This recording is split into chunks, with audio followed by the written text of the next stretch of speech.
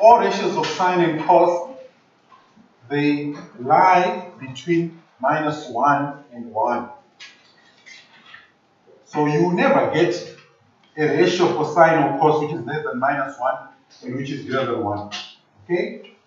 So, when you are dealing with numerical reductions with algebraic ratios, you also need your knowledge of the following formula. Sine theta is equal to y over r. Cos theta is equal to x over r. You get this from the Cartesian plane. Tan theta is equal to y over x. And r squared is equal to x squared plus y squared, which is the theorem of Pythagoras. So let's look at the first example. I'm going to move on to the next page. Okay? Sorry? One can eat a bit okay. Okay. Alright. Let's bring in tan now. Tan 218.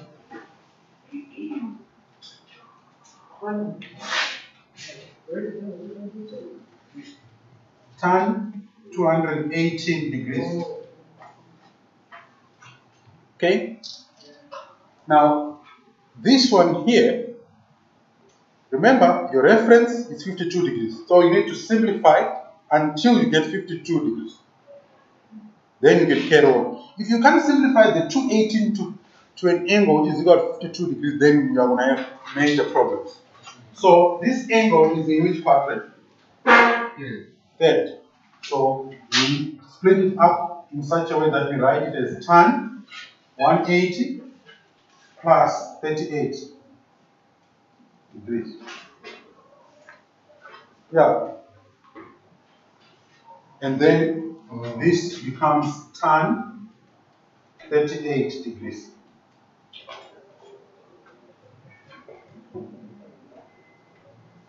Okay? Now check this out. If you go to the diagram, okay? Do you see the 38 on the diagram? Huh?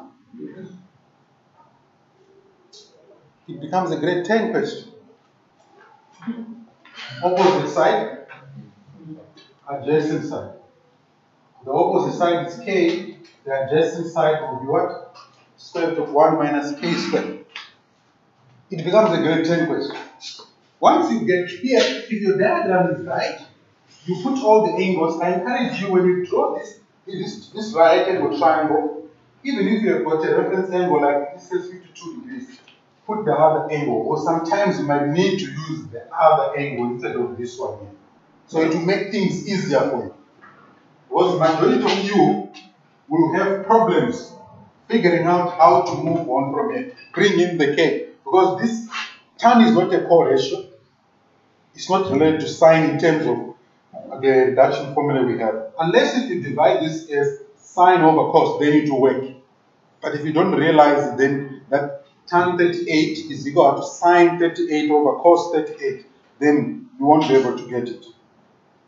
Okay, so I'm going to show you two ways to move from here. Either you can use the diagram or you can convert the tan to what? To sine over cos. Two methods. So let's call this one method one. Okay? Method one, I'm going to use the diagram. In fact, both methods I'm going to use the diagram, but I'm going to use it in a, in a different way. I'm going to move direct from tan 38 to k. Okay? Because I've got an angle which is equal to 38 degrees, and this is a right angle triangle. Remember, tan is tan theta is equal to opposite over adjacent. So the opposite side is going to be k, the adjacent side is going to be square root of 1 minus k squared. So I'm done. So my answer here is going to be k divided by the square root of 1 minus k squared. I'm done. Okay? I'm done with this. Okay? Because I drew my diagram and label it correct, uh, correctly, I can use it. Okay? Then method 2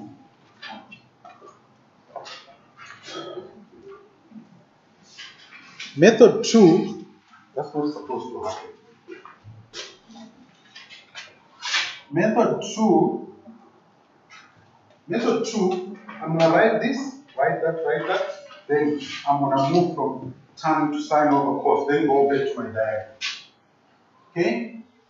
So, for method two, I'll just write my question tan 218 degrees.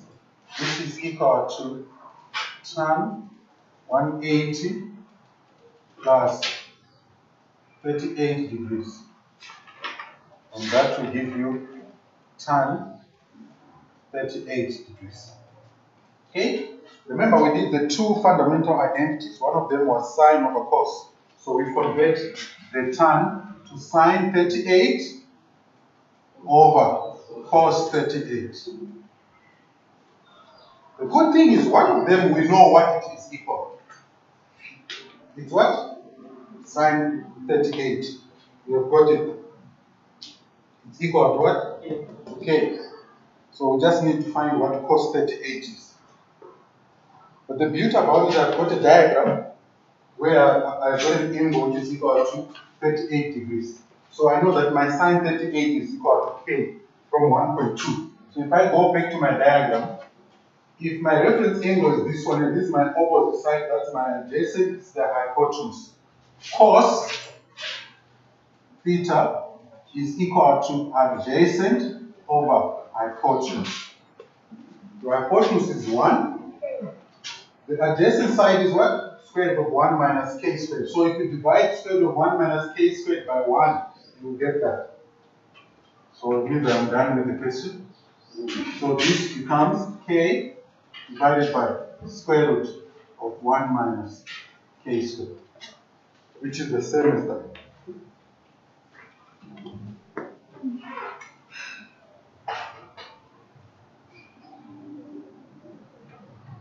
So reduction formulae, okay, are very important. Reduction formulae. So you need to sit down and memorize your reduction formula. Okay.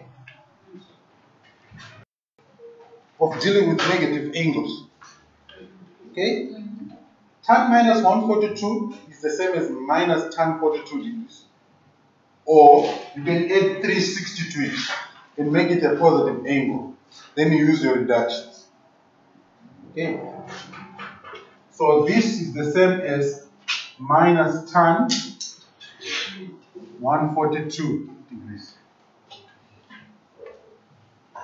If you don't want to convert it to a positive angle, you can just write it like this. Because tan theta is equal to tan minus theta is equal to minus tan theta. Reductions involving negative angles. Okay? Then you need to bring in the 30. Remember, we've got 52 degrees. Then you also have 38 on the diagram. Okay? So this angle here, I can write it by introducing an acute angle. And that acute angle is going to be 38. So I write tan minus tan, okay, 1 8 of 1 8 degrees minus 38 degrees. Once you see this 38 coming up and it's on the diagram, then you realize that, okay, I'm on track. But if you don't manage to bring in the 52 or the 38, then you're going to be stuck forever. Then from here, it becomes a piece of cake. So this becomes minus. Please don't forget this is the minus, it is there. But tan 180 minus 38 is negative. Because this angle here, 142 is in the second quadrant. So this becomes minus, open bracket, minus tan 38. You can make a mistake here. But if you know your quadrant, you shouldn't have any problems. In which quadrant is minus 142 degrees?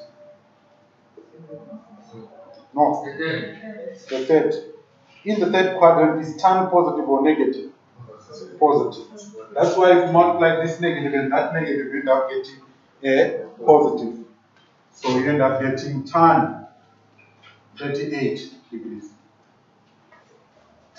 The fact that we have got this 38 and this 38 degrees is in the is sorry is on the diagram, it makes things very easy.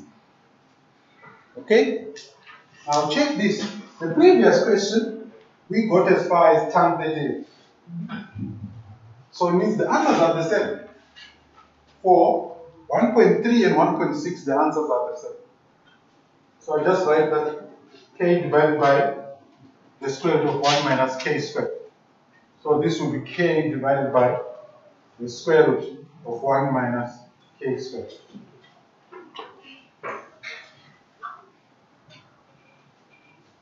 Okay? And then we are done.